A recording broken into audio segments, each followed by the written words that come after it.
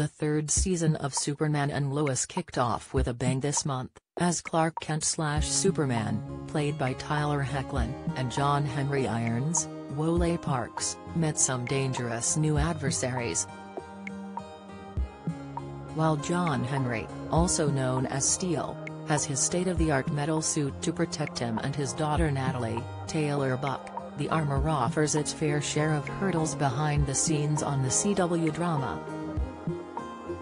Parks confirmed an upcoming scene of Superman and Lois had to be completely reworked to accommodate his steel suit. The CW's hit DC Comics series follows a new version of Superman and his wife Lois Lane, Elizabeth Tulloch, who try to settle down in Clark's hometown of Smallville.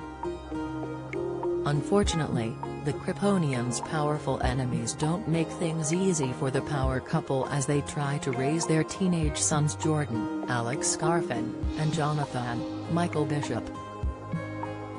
Meanwhile, Parks has his own challenges to contend with, as he revealed in an exclusive interview with Express.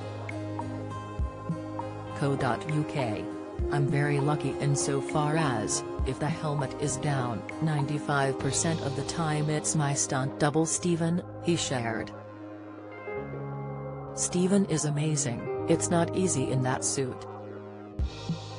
It looks cool on TV, the effects make it look great. But it's really hard to walk around in. I don't look cool, it's very cumbersome. Parks confirmed he recently filmed a group sequence coming up in season 3 which had to be retooled as John Henry walking in the suit was too distracting. He recalled, about a month ago, maybe a couple of weeks ago, we were shooting a scene where I was supposed to walk in. I was so awkward looking in my walking in the suit, they decided, we're just going to zip you in.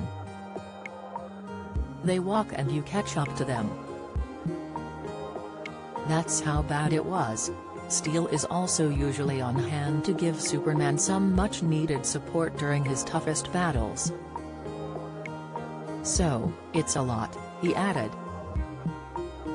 But I give Steven credit because he does, like I said, the vast majority of the heavy lifting. Don't miss. The Night Agent showrunner teases completely different second season, interview.